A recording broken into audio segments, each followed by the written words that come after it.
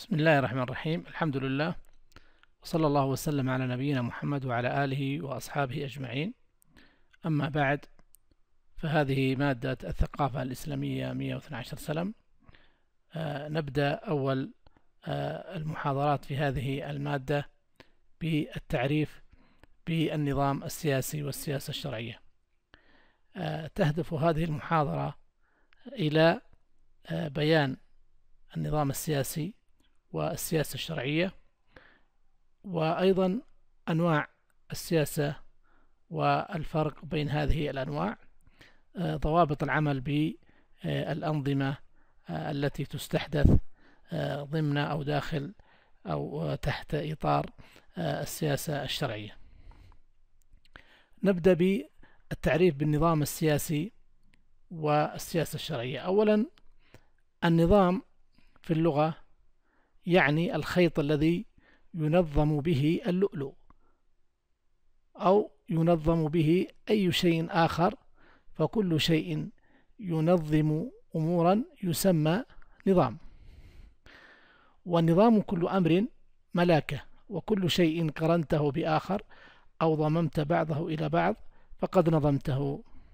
وإذا نظرنا إلى النظام السياسي بالنظر إلى اللفظ فنجد أنه مجموعة من الخطوات أو الإجراءات المتناسقة مع بعضها والتي يضم بعضها إلى بعض ومن خلال هذه الخطوات والإجراءات يتم آه، تدبير الأمور وتسييرها بطريقة صحيحة صالحة. هذا بالنظر إلى تعريف النظام السياسي بالنظر إلى لفظه.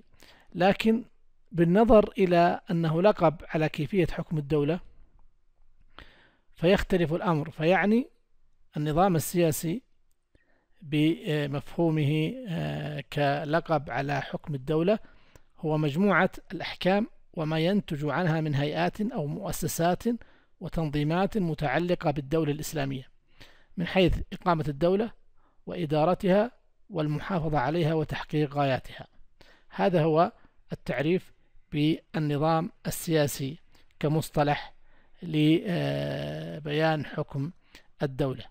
إذا مجموعة الأحكام هي القوانين وما آه، ينتج عن هذه القوانين من وزارات أو هيئات أو مؤسسات. آه، قوله في التعريف من حيث إقامة الدولة يدخل في إقامة الدولة تنصيب الخليفة أو الإمام أو الرئيس أو الملك ويتحدث عن ذلك من حيث حكم آه، توليه لمنصب آه، الخلافة أو الإمارة أو آه، كون واليا على المسلمين. وكذلك الشروط التي ينبغي أن تتوفر فيه والواجبات التي منوطة به والحقوق التي عليه أو له من الرعية. وأيضا كيفية اختيار هذا الحاكم. هل يكون بالانتخابات أو يكون بالاختيار المباشر أو يكون باختيار أهل الحل والعقد؟ وصفات من يختارونه؟ هل عامة الناس أم أهل الحل والعقد في الأمة؟ وكذلك كيفية انتقال السلطات؟ وما هي موجبات هذا الانتقال؟ وما هي حدود وصلاحيات هذا الحاكم أو الخليفة أو الملك؟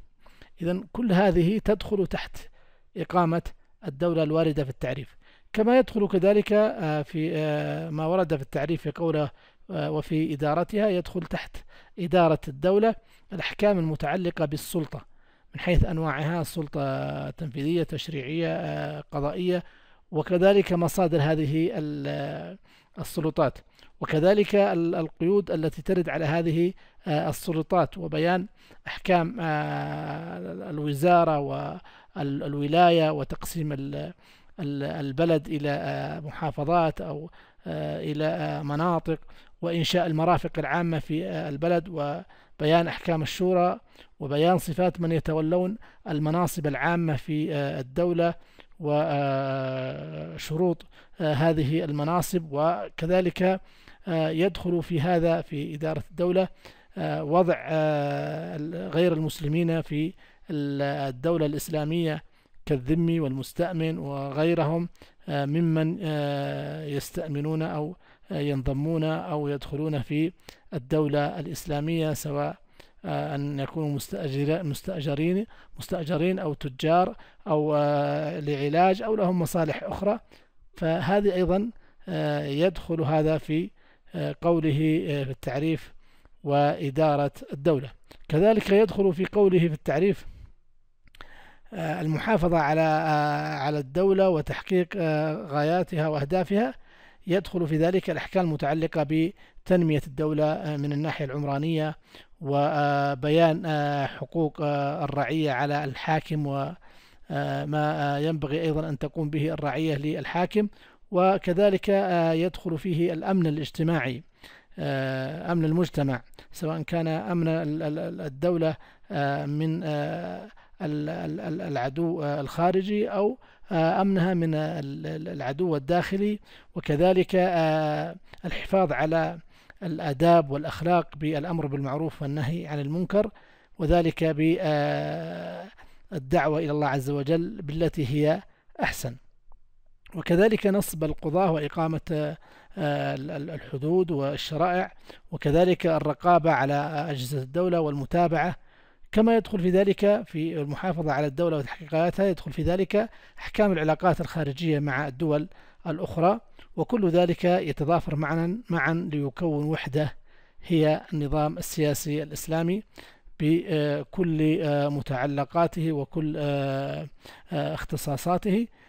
فهذا هو شرح مبسط لمفهوم النظام السياسي كمصطلح للحكم أو حكم الدولة.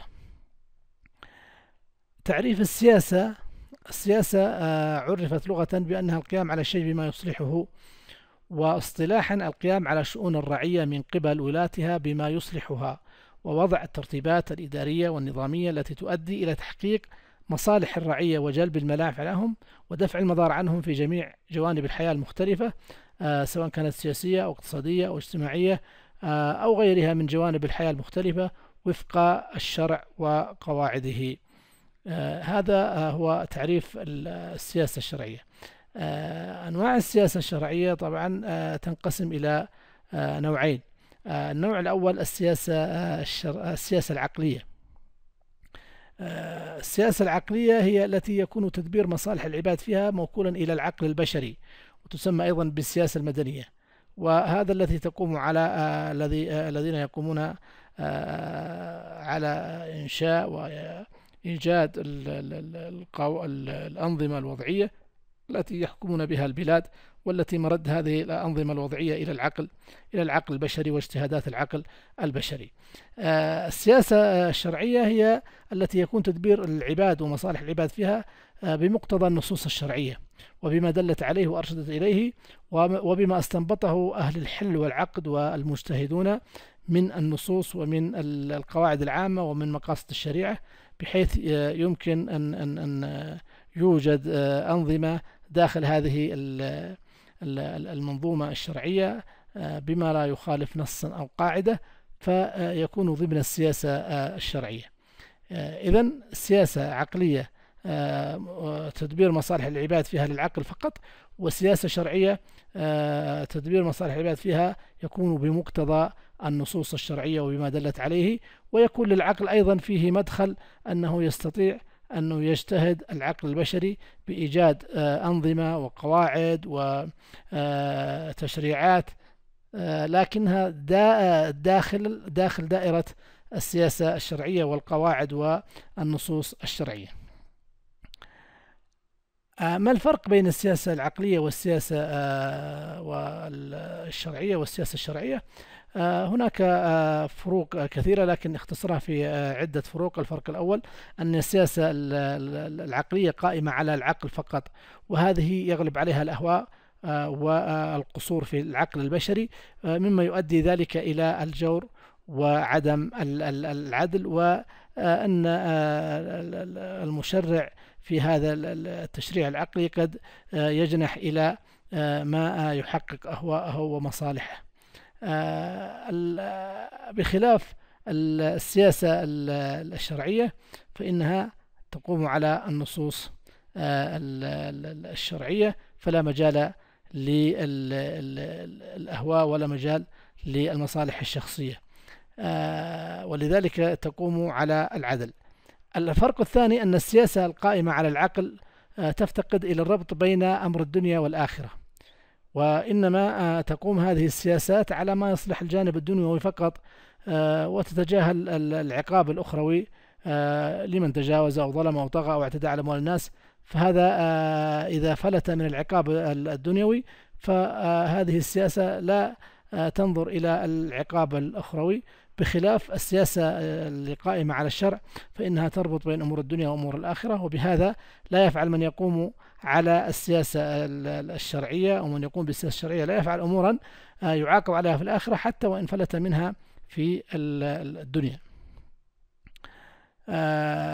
السؤال للبحث ما العلاقة بين النظام السياسي الإسلامي والسياسة الشرعية؟ هذا يترك للبحث وإيقاد الهمم لإيجاد الجواب على هذا السؤال. آخر فقرة ما هي الضوابط أو ما الضوابط للعمل بالأنظمة؟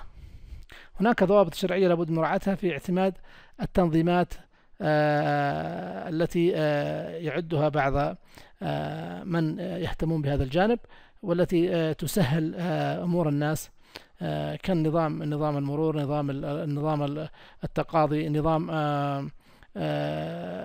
العمل إلى غير ذلك من الأنظمة. يشترط فيها أن تكون محققة للمقصود الذي من أجله وضعت يعني الهدف الذي من أجله وضعت أن تحققه. ألا تخالف قاعدة من القواعد الشرعية أو مقصد من مقاصد الشريعة.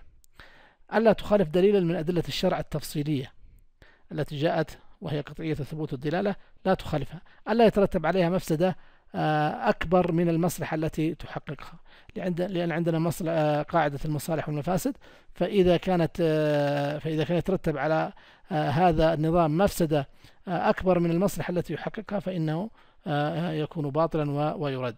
إذن هذه الضوابط الأربعة التي من خلالها يمكن أن يعمل بالأنظمة في المجالات المتعددة. هذا والله أعلم وأحكم.